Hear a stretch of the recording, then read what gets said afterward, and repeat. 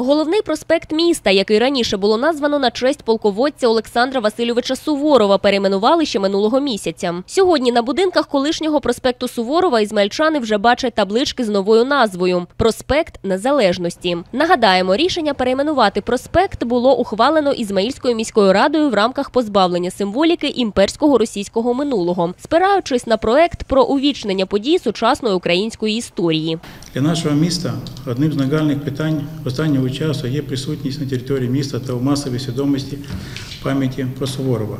На жаль, штурм фортеці Ізмаїл під командуванням Суворова 22 грудня 1690 року став складовою частиною того імперського настрою, який багато років транслювався нашими сусідами.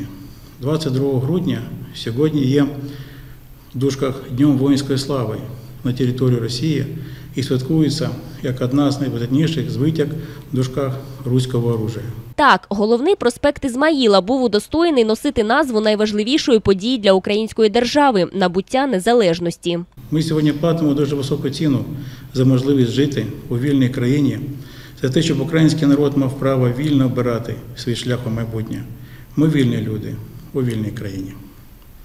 Фракція політичної партії Слуга народу підтримує ініціативу виконавчого комітету Ізмийської міської ради Ізмийського району Одеської області і вважає символічним, що головний проспект нашого міста буде називатися Проспект Незалежності.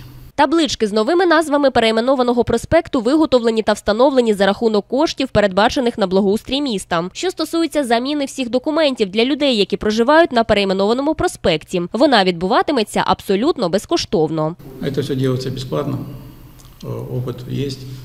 И те, кто проживали, был раньше проспект Ленина, переименовали проспект Мира, э, автоматически меняются адреса. И при оформлении сделок будет автоматически меняться название. Наталя Гаврилова, Наталя Маленко, Руслан Гуцало для програми новин.